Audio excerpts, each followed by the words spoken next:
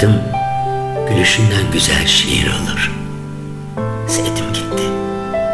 Sen yüzüne sürgün olduğum kadın. Madem sevmiyorsun, o zaman sahip çık gözlerine. Dönüp dolaşıp değmesinler gözlerime. Belki de konuşuyordur gözlerin. Ama ben gözce bilmiyorum ki.